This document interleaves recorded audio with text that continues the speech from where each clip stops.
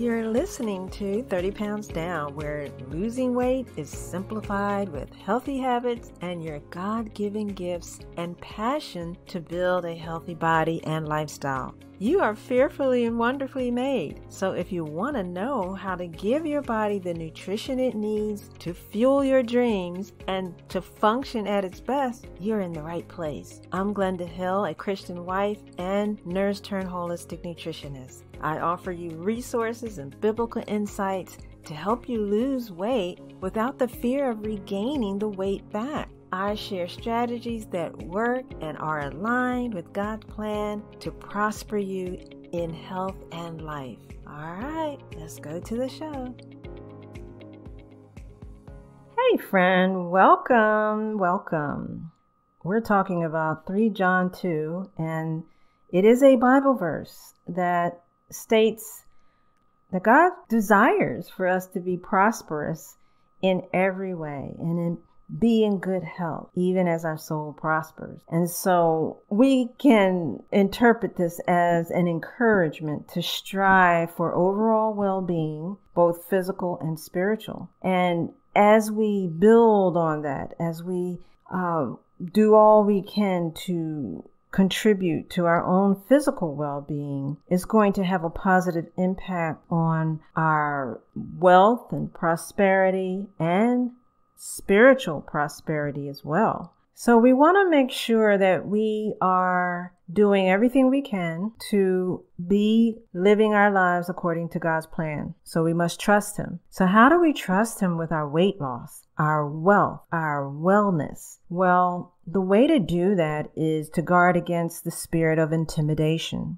And it's hard to recognize, but if you've ever felt confident that you can lose weight or you can accomplish anything in any area of your life, and you felt confident, but then suddenly you were faced with seasons of doubt or low self esteem, just out of nowhere, you just started feeling like you were unworthy or insecure. Well, that's a spirit of intimidation. And it makes us feel like something is wrong with us. But in fact, we are under attack. And that is why we look inward and we say, well, what's wrong with me? But it's not what's wrong with me, it's that we are under attack. And so we need to look into the Bible and see where we can learn some lessons. So let's take a practical lesson from the Bible. God provided ancient Israel with abundance. I mean, health, I mean, wealth. He gave it to them but they borrowed trouble for the future. And by that I mean they they stopped trusting God. They closed their eyes to his goodness and mercy and they just chose to start complaining about how he was leading them on their journey. And that's the journey through the wilderness, their journey through being established in Canaan land and and then having a king. They had good kings, they had bad kings.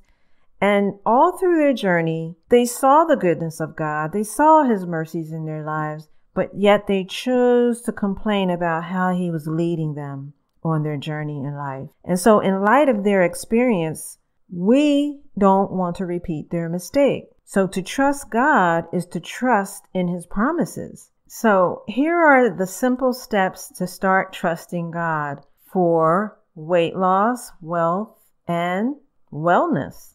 Trust in His promises.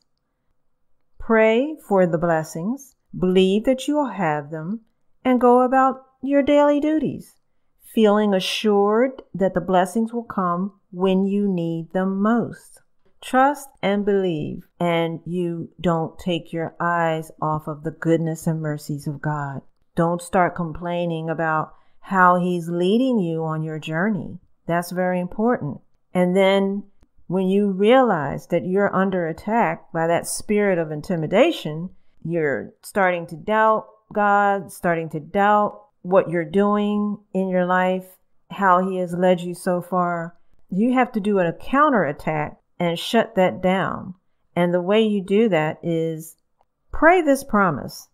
It's the promise of 2 Timothy chapter 1 verse 7. For God hath not given us the spirit of fear, but of power and of love and of a sound mind.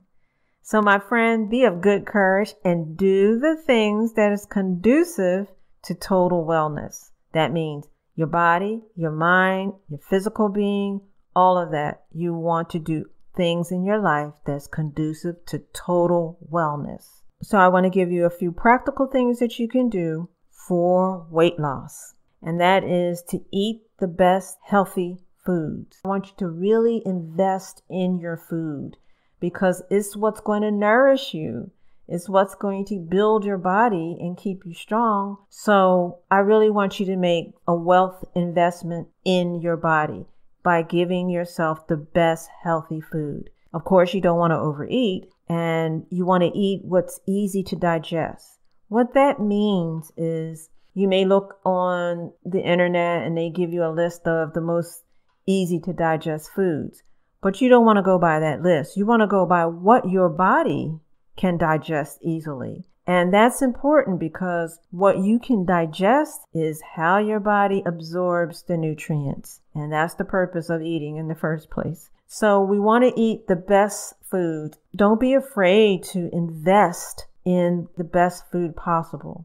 And then another thing is to maintain a healthy weight, you want to stay physically active, which means you want to do exercise or daily chores that, you know, work up a, a sweat, maybe outdoor sports activities.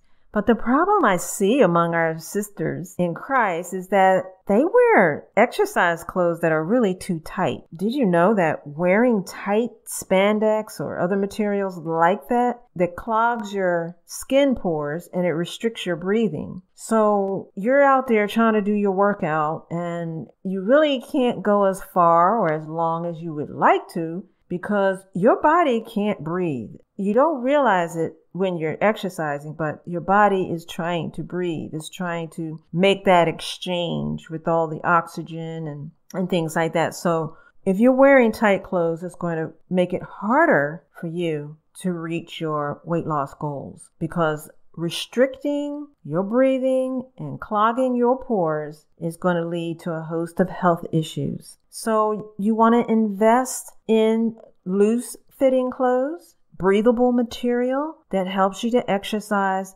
more and to exercise longer for a longer period of time. And you can do that when you feel more comfortable in your clothes, you don't have any restriction, and your skin can breathe. Now, you may think, wow, this is way out there as a health tip. It's really important. I mentioned these practical tips about eating the best quality food and paying the money doing what you need to do to buy the clothes that promote health because God wants us to invest money in our health. The body is the temple of the Holy Spirit, and we are to be good stewards of our earnings by investing in our health. When you have a healthy body, you'll be able to earn more money throughout your lifetime. You'll have a longer life. This means that when you have a healthy body, you reduce the risk of chronic health conditions, which leads to fewer medical expenses. And when you are healthy, you have a healthy weight, you're able to work more efficiently and be more productive. And so that can lead to increased earning potential and business opportunities. And, you know, I'm not saying that earning power is what being wealthy is all about because we don't want to measure our wealth that way, but we do want to use wisely all the means and the resources that God provides. So I hope I've shared something with you that maybe you never thought of.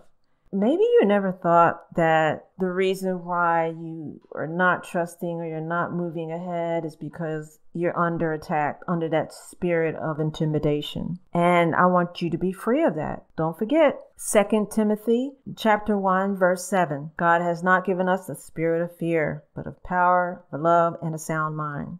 And then also you want to make sure that your habits are in line with His desire for you to prosper and be in health, even as your soul prospers. My friend, I hope this word has blessed you today. Thanks for listening to 30 Pounds Down. Subscribe and join me next week for more real talk on Christian weight loss. Peace to you and have a great day.